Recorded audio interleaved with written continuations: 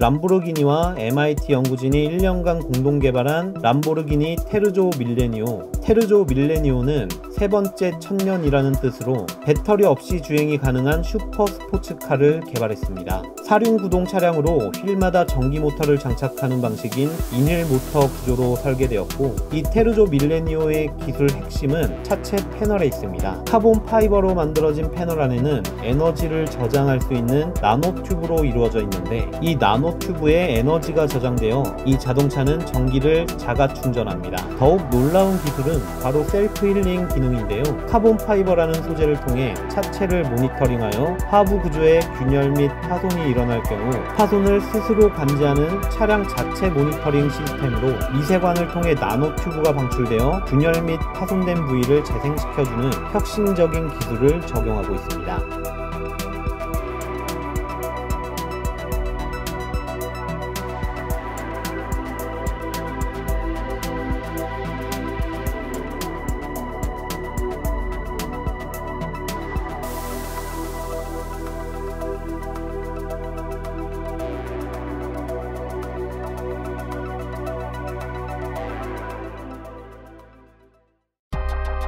르노 트레저는 2016년 제네바 모터쇼의 올해 컨셉카로 선정되었습니다. 2인승 전기차인 트레저는 유려한 곡선 형태의 외관과 측면의 도어가 아닌 캐노피 도어를 이용해 눈길을 끕니다. 후드의 육각형 플랩은 위아래로 움직이며 차가 숨쉬는 듯한 인상을 주고 측면 한쪽은 차량의 충전 상태를 나타내는 아날로그 게이지를 배치했습니다. 매우 낮은 무게중심은 탁월한 공기역학을 만들고 4초 이내에 시속 100km에 도달할 수 있는 350마력의 모터를 탑재했습니다. 탄소 섬유로 만들어진 외부와 내부는 모두 친환경 우드와 가죽으로 제작되었습니다. 파노라마 터치스크린 디스플레이와 직사각형의 스티어링 휠, 자율주행 모드에서 스티어링 휠은 더 넓게 확장되며 측 후면에 로고가 켜지면서 도로의 다른 운전자들이 차량이 자율주행 모드임을 알 수 있도록 합니다. 혼다는 완전한 자율주행을 신뢰하지 못하는 사람들을 위한 반자율과 완전 자율 사이의 8가지 주행 모드를 제공하는 augmented driving 컨셉을 공개했습니다. 첫 번째 자동차가 나온 이후 사실상 가장 작은 발전을 해온 스티어링 휠에 모든 기능을 탑재해 자동차의 모든 작동을 제어할 수 있는데요. 핸들을 밀면 가속하고 핸들을 당기면 제동합니다. 핸들의 바깥쪽에 있는 센서를 통해 한 번의 swipe만으로 자율 모드에서 차선을 변경합니다. 시동을 걸 때는 운전대를 두 번 두드립니다. 수동 모드일 때 스티어링 휠 중앙의 디스플레이가 계기판 역할을 하며 이 스티어링 휠이 모든 작업을 처리하므로 차량에는 페달이 없습니다. 이 자동차의 AI 센서는 운전자의 행동을 계속 모니터링하고 운전자의 주의가 산만해지는 순간 완전 자율주행으로 전환됩니다. 2018년 아우디는 향후 선보일 차세대 전기 슈퍼카 컨셉을 공개했습니다. 아우디 PB18 e-tron 컨셉은 총 3개의 전기 모터를 가지고 있는데 전륜 axle과 후륜 axle 그리고 차체 중앙에 위치해 총 670마력을 가지고 순간 최대 토크는 846kgm로 정지 상태에서 100km 가속은 2초면 끝이 납니다. 96kWh의 후냉각식 고체 배터리는 500km의 주행거리를 제공하며 800 800V로 15분 만에 완전 충전이 가능한데 여기에 아우디의 무선 충전 기술까지 탑재되어 주차장에 충전 코일 패드를 깔아두면 자동으로 배터리가 충전됩니다. 이 혁신적이고 가벼운 배터리와 알루미늄, 탄소 복합재로 구성해 공차 중량은 약 1550kg 밖에 되지 않고 스티어링 휠과 페달이 차체와 기계적으로 연결되지 않은 by-wire 설계로 운전자 중심의 설계가 적용되어 운전석은 필요에 따라 실내 중앙으로 이동시킬 수 있습니다. 아우디 글로벌 CEO 브램 쇼트는 앞으로 최소 50가지 버전의 전기 슈퍼카가 출시될 것이라고 했습니다. 애스턴 마틴 산하에 있는 럭셔리 브랜드 라곤다 2018년 제네바 모터쇼에서 라곤다는 자율주행 전기차 비전 콘셉트를 공개했습니다. 무공해 파워트레인 기술만으로 주행하는 첫 번째 럭셔리 브랜드라는 컨셉으로 슬림하고 날카로운 미래지향적인 디자인에 coach door를 적용하고 있으며 루프는 위로 열려 개방감이 뛰어나고 승하차의 용이성까지 고려했습니다. 배터리는 차체 하단에 배치되어 내부 공간이 더욱더 광활해졌는데요. 2m가 넘는 성인 4명이 편안히 쉴 수 있도록 설계되었습니다. 있습니다. 1열 시트는 평상시에는 정방향으로 앉지만 자율주행 모드 시 시트를 회전시켜 2열 승객과 마주 앉을 수 있으며 스티어링 휠 역시 수납시킬 수 있습니다.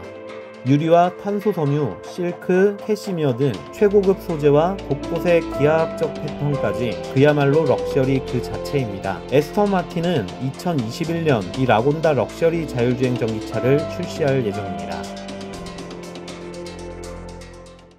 2019년 아우디는 트레일 콰트로 컨셉 모델 AI를 공개했습니다. 자율주행과 여러가지 독특한 첨단 기술이 결합된 순수 전기 자율주행 오프로드 컨셉 모델입니다. 4개의 전기 모터가 각 휠에 in-wheel 모터 구조로 이루어졌고 주행 조건에 따라 powertrain이 각 모터를 개별적으로 제어합니다. 헬리콥터의 cockpit을 연상시키는 내부 공간과 전면과 측면, 지붕은 전체가 유리로 뒤덮여 놀라운 가시성을 보입니다. 22인치 바퀴와 반대로 열리는 coach door, 독특한 해먹 스타일의 좌석을 갖추고 있습니다. 대시보드에는 자체 디스플레이가 없는데요. 이는 운전자의 스마트폰을 이용해 차량의 기능과 내비게이션 등을 제어할 수 있도록 했습니다. 이는 내부에 스크린을 담지 않고 운전자들이 자율주행 모드를 통해 순전히 자연을 즐기는데 집중할 수 있을 것이라고 판단했습니다. AI의 가장 독특한 특징은 일반적인 헤드라이트가 없다는 것입니다. 매트릭스 LED가 장착된 5대의 드론이 지붕 지붕 선반에 탑승되어 대기하고 있고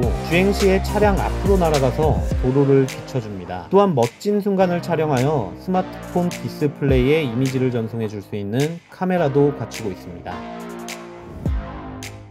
제네시스 에센시아 컨셉은 제네시스 브랜드가 처음 선보인 전기차 기반의 GT 컨셉카입니다. 제네시스의 디자인 철학, 역동적인 우아함과 기술력을 담아 제작되었는데요. 향후 제네시스 차량에 적용될 미래 기술력의 비전을 보여주는 차라고 할 수 있습니다. advanced 탄소 섬유 섀시로 만들어진 후드는 제네시스만의 독창성을 선보이고 전면부에 위치한 직선형 헤드램프는 각각 4개의 LED로 구성되어 프런트 휠 뒤편까지 이어져 에센시아 콘셉트만의 특별한 감성을 나타냅니다. 측면부에서의 parabolic line은 기존의 라인들과는 다른 곡선형으로 볼륨감이 넘치고 역동적인 우아함의 핵심적 요소입니다. 날개를 펼치는 듯한 butterfly door가 장착되었고 B필러에는 지문 및 안면 인식으로 도어를 개폐하는 생체 인식 기술을 적용했습니다. 운전자와 자동차 간 양방향 대화를 가능하게 하는 intelligence assistant 기술로 차량 내부 버튼이 모두 사라지고 스마트홈 시스템을 적용해 운전 자 집의 냉난방,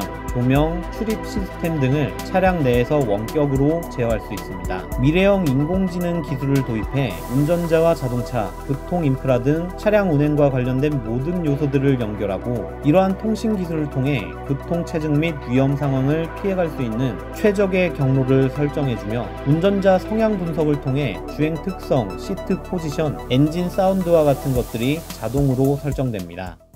2018년 3월 공개된 도시명 무인 시티카 르노 이지고는 운전대가 없는 도시명 무인 자율주행 시티카입니다. 르노는 미래 자동차의 개념이 소유에서 공유의 개념으로 바뀌게 될 것으로 예상하여 자가용이 아닌 셔틀카의 개념을 도입해 도시명 미래 택시를 설계한 것입니다. 이용자들은 스마트폰 앱이나 공공의 예약 시스템을 통해 이지고를 호출할 수 있으며 내부엔 운전자도 운전대도 없으며 최대 6명 모두가 이동의 제약 없이 편안한 여행을 할 수 있도록 해줍니다. 휠체어나 유모차가 쉽게 탑승할 수 있도록 windshield 일체형 루프가 위로 크게 열리도록 설치했고 이지고의 낮은 차체를 보며 방지턱을 걱정하지만 미래엔 방지턱이 사라지고 바닥과 자동차에 다른 극의 자석이 내장되어 저속 자기 부상을 하는 방식으로 방지턱이 없어질 것이라고 예상합니다. 향후 스마트시티 대중교통 플랫폼과 연계되어 서비스가 가능해질 것으로 예상되는데 해당 지역에서 즐 즐길 수 있는 activity 투어와 레저 활동에 대한 정보를 차량 내에서 제공하고 승객이 정확히 필요로 하는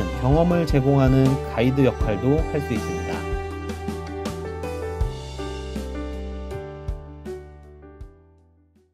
아바타2와의 제휴로 제작된 메르세데스 벤츠 비전 AVTR 컨셉카는 미래 자동차가 어떤 모습인지에 대한 상상을 불러일으키기에 충분한 모습입니다. 마치 영화 아바타의 판도라 행성에서 온 나비족 사람들이 벤시 사이에 연결되는 모습과 마찬가지로 이 컨셉트카는 인간과 기계 그리고 자연과의 관계를 다룬다고 벤츠 측은 밝혔습니다. 비전 AVTR은 실내에 steering wheel을 포함한 제어 장치가 전혀 없습니다. 운전자가 콘솔의 조명 controller에 손을 얹기만 하면 맥박을 포함한 다양한 생체 측정 값이 전달되어 모든 시트가 운전자의 맥박수에 따라 숨을 쉽니다. 탑승자가 손바닥을 펴서 올리면 차량은 손바닥 위로 필요한 기능들을 보여주고 탑승자는 원하는 기능을 손에 쥐면 선택이 가능하며 앞유리엔 다양한 화면을 띄웁니다. 2만 개의 LED로 제작되고 시트는 옷이나 플라스틱, 페트병으로 재활용된 물질로 만들어진 인조 가죽으로 만들어진